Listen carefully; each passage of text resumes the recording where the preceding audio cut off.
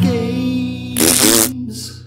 Alright, you beautiful bargain hunters, deal delvers, and all round cheapskates. Glyn here, Cheapskate Gaming. And on today's game, they're free. And in fact, there's going to be two games. And it's got a bit of a bit of a sad story to this. So the game was developed by a guy called Rob Hale. Unfortunately, he passed away. But in doing so, um, his partner basically put his games out and made them free. So, um, in honor of him, we're going to have a little look at his game. And the games he made are called Waves and Waves 2 Notorious. Now, Waves 2 Notorious, because he passed away while he was still developing it, isn't 100% finished, but Waves is. Um, and we're going to have a look at it. And they're free to download on Steam. Just go to your store page, type in Waves. Um, and you can go in and uh, download. And of course, his company was Squid in the Box. So, like I say, it's a very sort of sad tinge, but also, you know, let's celebrate his life, his work, um, and enjoy playing the game because that's what he would have wanted. In uh, why why make a game if you don't want other people to enjoy it? So that's what we're going to do today. We're going to try out Waves. We're going to have a little play on it, and that's what we're going to have on Wonderful World of Games. Right, so here we are inside the first Waves game.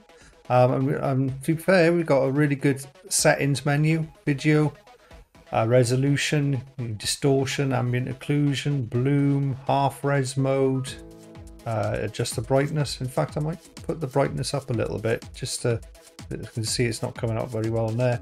You can adjust your audio and all that. I'm going to leave the tunes playing. Um, and let's just get straight into the game and have a look. And I know what it is. It's a twin. It's a twin stick. Look at it. Connected. Oh, it's a classic. Oh, look, little ball rolling. Oh, the tunes are good though. Definitely. Banging tunes.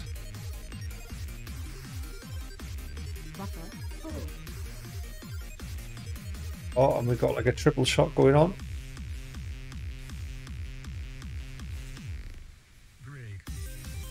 Nice. Sweet. Like I say, it's free, so let's all go and do Rob a, a service by having a little look at it. I'm fair play to, like, only more. I mean, I don't think people should have to die, but oh, I mean, like, if more people were sort of like, oh, you know, I've made a few quid out of it, let's make something free. I wish big companies would do it as well. Do you know what I mean?